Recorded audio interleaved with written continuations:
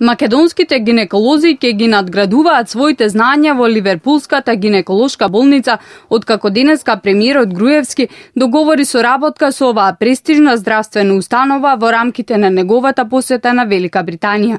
Договорено е гинеколози од Македонија да заминат на обука во Ливерпул, каде ќе учат извршување на најсовремени медицински методи, а подоцна е предвидено британски лекари да ги посетат македонските гинеколошки оделенија и таму да ги споделат своите знаења. Се работи за еден крупен центар, вклучително и научен центар, каде што има сериозни научни истражувања, со кои што договоривме соработка за испраќање на наши лекари овдека во оваа болница да ги научат нај, најновите методи поврзани со неонатологија и со фертилитет и со се што е поврзано со гинекологија, а секако во втората фаза ќе дојдат и нивни лекари во Македонија да ги пружат нивните знаења и, и услуги на, на нашите лекари и најновите методи со кои што работат да ги пренесат на нашите лекари и на другиот медицински персонал. Директорката Тарнер вели дека незината установа е секогаш подготвена да помогне на држави кои се заинтересирани за развивање гинеколошки методи.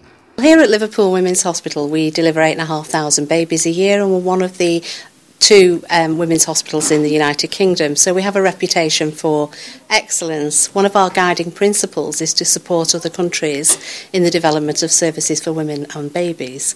So the opportunity to work with Macedonia in helping them develop their services and to support the training of doctors and nurses is an opportunity that we're really excited about.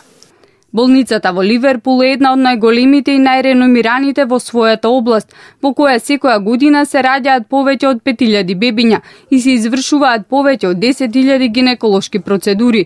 Неонатолошкиот одел е еден од најдобрите, а болницата поседува и врвна лабораторија за генетски истражувања.